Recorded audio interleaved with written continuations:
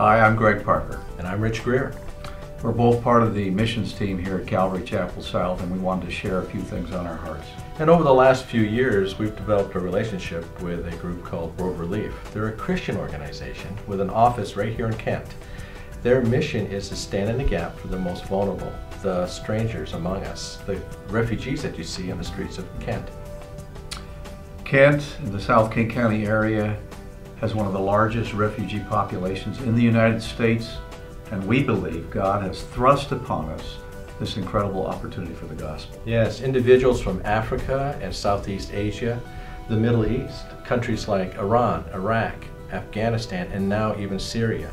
And these people are some of the least reached peoples in the world.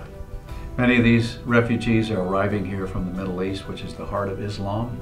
That area has been cut off from the gospel for many years, and many of them do not know even the name of the Lord Jesus Christ.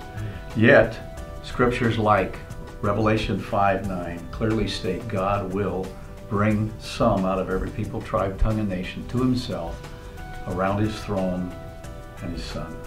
And God is bringing these people right to our doorstep.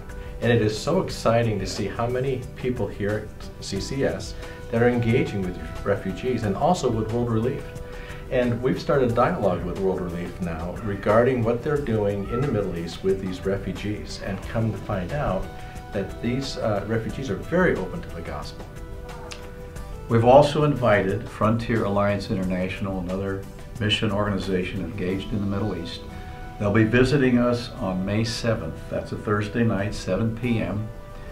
Uh, please, you're all invited. In fact, here's a little clip of the video we're going to be showing, which is a documentary.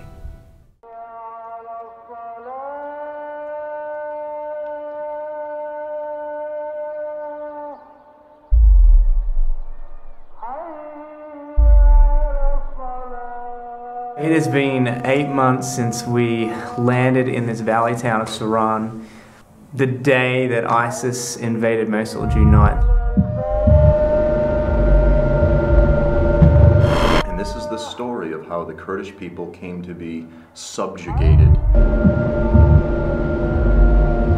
Uh, throughout history, they've always been a homeless people, and that's the way it is today.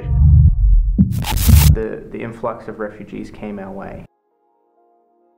So we're seeing an inundation up to 2 million IDPs, refugees. You know, the greatest tragedy to me is not the Kurdish people are fleeing from tormentors into the mountains. It's they're fleeing from tormentors into the mountains and they don't have a witness. But if we are to demonstrate the love of Christ and pour out the love of Christ in His name throughout the nations of this world before His coming, we need to do it with boldness. We cannot postpone anymore the preaching of the gospel. It is worth it. I love Jesus Christ. He is the passion of my life. And if there is one bit of sweat that I can strain out of my body for his glory, it's on it's on the line. We have access to this people. We have resources and yet still our only friends are the mountains.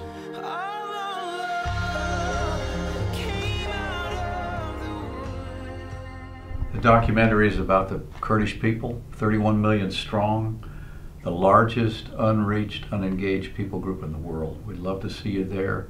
And please be praying with us. God, what would you have us do? What would you have Calvary Chapel South do? Yes, thank you for listening. Thank you.